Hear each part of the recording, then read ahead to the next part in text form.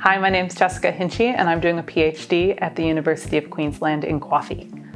Uh, I'm going to be building digital twins for the aquaculture industry.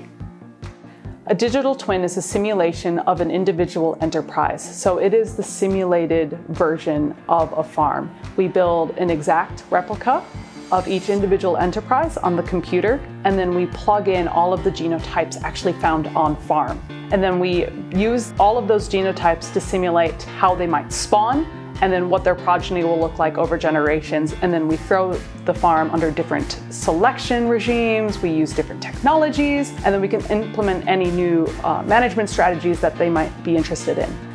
The advantages of using a digital twin is that the farm can try a new technology before they buy. So based on the fish that they currently have on their farm, they can see what kind of gains they will get when they try different management strategies, when they try implementing, let's say, genomic selection. Uh, they can really see what kind of gains they would get, um, and then they can weigh that against the cost of actually implementing these technologies.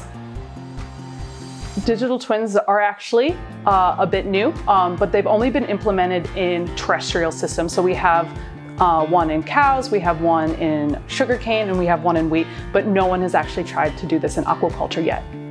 The aquaculture industry is actually quite far behind terrestrial systems. It's predicted that just over 10% of all animals being produced are descended from genetically improved ones. Um, so we need to really be bringing genetics into the aquaculture industry, and digital twins is a way of trying to figure out the best strategy for implementing these genetic technologies. What is going to be the best option for each individual farm instead of just making this broad one size fits all model. So the CRC for the development of Northern Australia estimates that aquaculture is approximately worth $223 million. Um, but by 2030, it's going to be worth $1.3 billion. So um, I really think that digital twins are going to be very, very useful in trying to help industry get to those gains.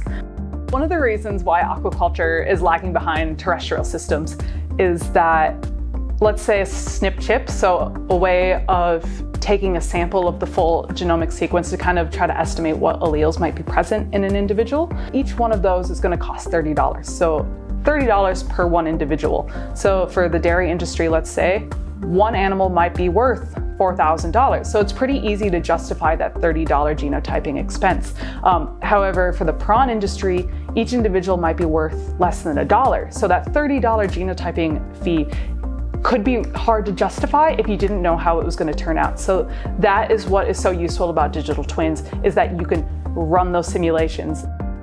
I'm going to be working with Mainstream Aquaculture, a barramundi farm based out of Werribee, Victoria, but they have farms all over the country. They have progressed to their genomic prediction stage of the farm and they want to know what is going to be the best approach to genomic selection that will really optimize the gains seen at their farm. So they're actually going to be the first digital twin in the aquaculture industry.